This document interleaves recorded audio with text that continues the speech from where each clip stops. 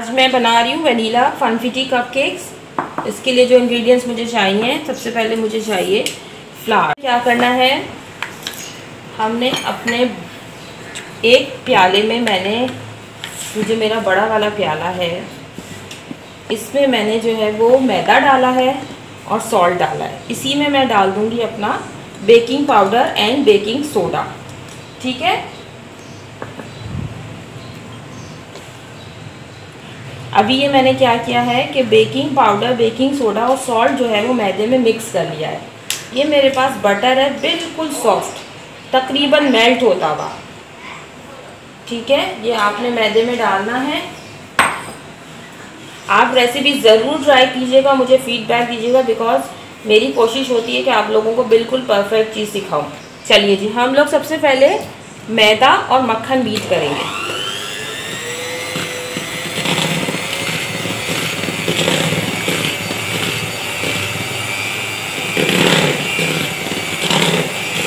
मैदे के अंदर मैंने बटर को हल्का सा मिक्स कर लिया। और देखें बटर जो है वो बिल्कुल हार्ड नहीं होना चाहिए, वरना उसके लम्स बन जाएँगे। ठीक है? ये हमारा फ़र्स्ट स्टेप कंप्लीट हो गया है। इन अनदर बोल हम क्या करेंगे? हमारे ब्रेड जो हैं, जिसमें हमारे पास है दो अंडे। आपने अंडे तोड़ लेने हैं।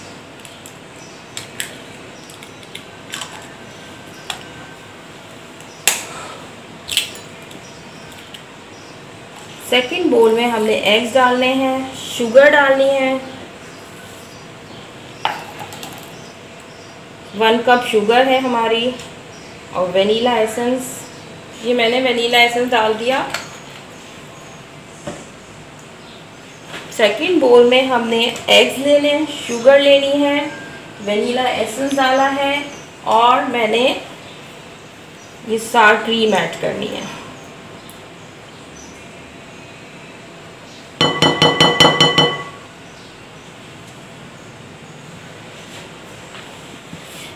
वेट में मेरे पास अभी यहाँ पे आधा कप दूध भी बचा हुआ है, लेकिन मैंने अभी इसको फोल्ड नहीं करना।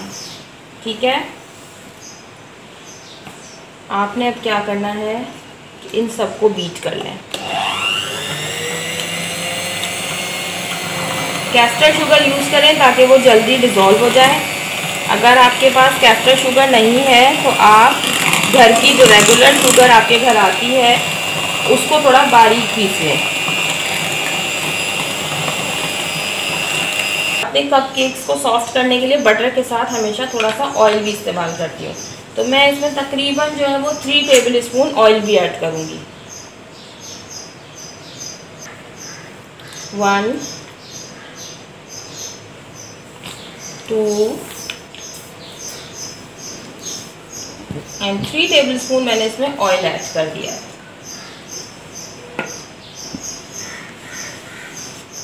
ठीक है? इसको मिक्स कर लें। बस इतनी देर आपने मीटर चलाना है कि शुगर बिल्कुल डिज़ोल्व हो जाए। शुगर मेरी डिज़ोल्व हो चुकी है। अवन मेरा प्री हीट है। मैंने उसको गैस ओवन जो है मेरा वो 15 मिनट्स पहले उसको ऑन कर दिया था। 200 सेल्सियस पे आपने 20 मिनट्स के लिए अपने कप केक्स को बेक करना है। ठीक है? हमारा नेक्स्ट स्टेप है। हमने जो बटर और शुगर को बीट करके रखा हुआ है, आपने ये जो अपना लिक्विड मिक्सचर है, ये इसमें डाल देना है।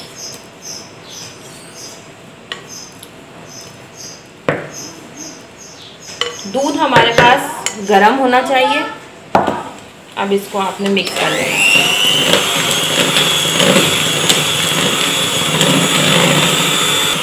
लो स्पीड पे आपने ये सारा बैटर मिक्स कर दिया ठीक है? अब आपने ये जो हमने दूध रखा हुआ था, मेरे पास हाफ़ कप मिल्क है। हाफ़ कप मिल्क आपने इसमें से थोड़ा सा ऐड कीजिएगा पहले, पूरा नहीं डालिएगा। थोड़ा सा बचा लें।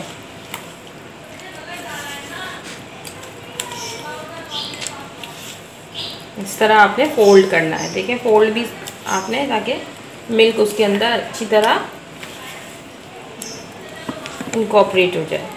जी, ये बैटर रेडी हो चुका है। अब ये जो मैंने जिमीज़ रखे हुए हैं, ये मैं इसमें फोल्ड कर दूँगी।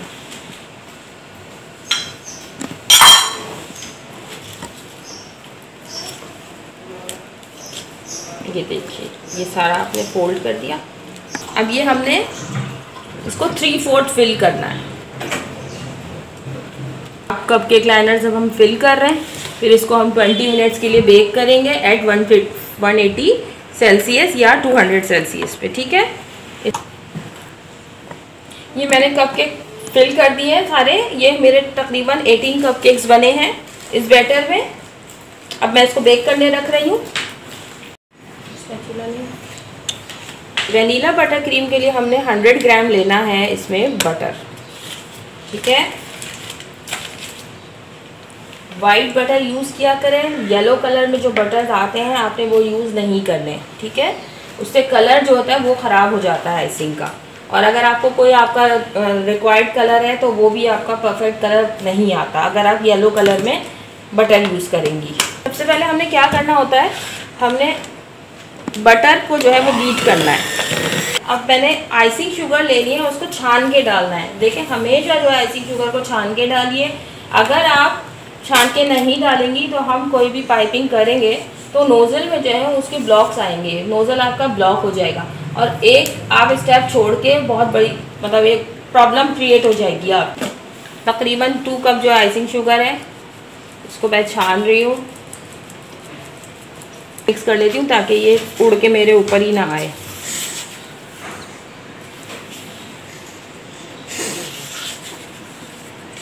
इसमें वनीला एसेंस डाल देती हूँ मैं। आपके पास अगर वनीला पाउडर है तो वनीला पाउडर भी आप यूज़ कर सकते हैं। मैं फ़िलहाल जो है वो विप ग्योर का यूज़ कर रही हूँ। मेरे पास क्लियर वनीला ख़त्म हो गया था, वरना मैं हमेशा क्लियर वनीला ही यूज़ करती हूँ। अब आप इसका आइसिंग का एक देखें बटर आइसिंग में कोई एक्यूरेट रेसिपी नहीं होती। है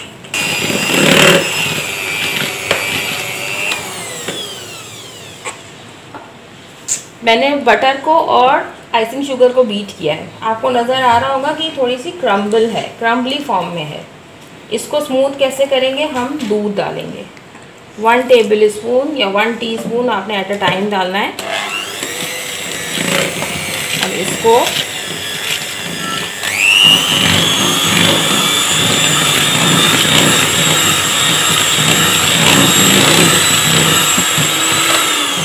ये देखिए, एकदम से स्मूथ हो गई है। अभी मैं थोड़ा सा इसमें और दूध डाल रही हूँ। अच्छा आपको जो मैं बात बता रही थी कि आप जो है येलो बटर यूज़ ना करें। आपने किस तरह एडजस्ट करना है? हमने जब इसको देखा कि ये थोड़ी क्रम्बल फॉर्म में थी तो हमने मिल्क ऐड करना है। मिल्क ऐड करके आपने इसको दोबारा बीट करना है।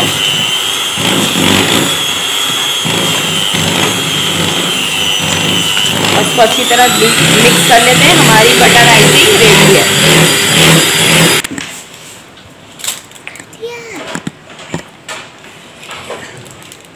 आपने एक डिस्पोजेबल पाइपिंग बैग लिया, उसमें पहले आप नोज़ल डालेंगे। उसके बाद हम अपनी आइसिंग डालेंगे।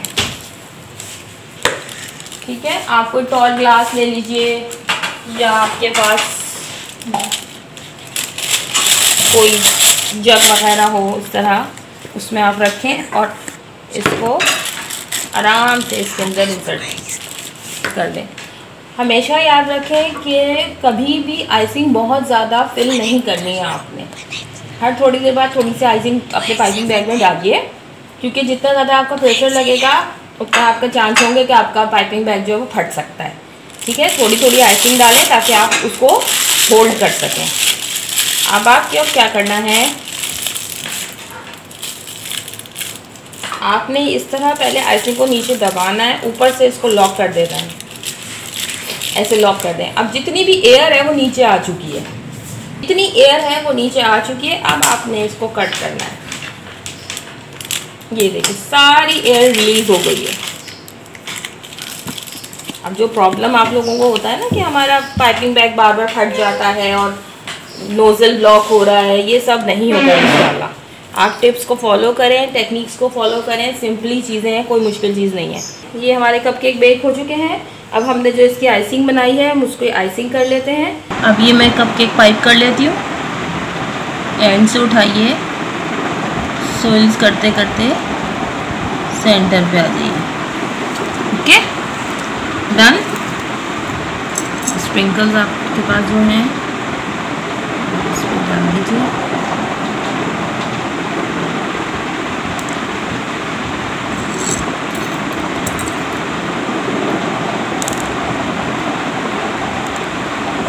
कप केक रेडी हो चुके हैं। इससे मैंने आइसिंग की है। ये देखिए, ये बहुत ही ज़बरदस्त से हमारे कप केक रेडी हो चुके हैं। अब मेरी रेसिपी ज़रूर ट्राई कीजिएगा। मुझे अपना फीडबैक दीजिएगा। मेरा चैनल सब्सक्राइब करना मत भूलिएगा। वीडियो को देखने का शुक्रिया। लाइक करके आगे जाइएगा। थैंक यू सो मच अल्लाह हाफिज़।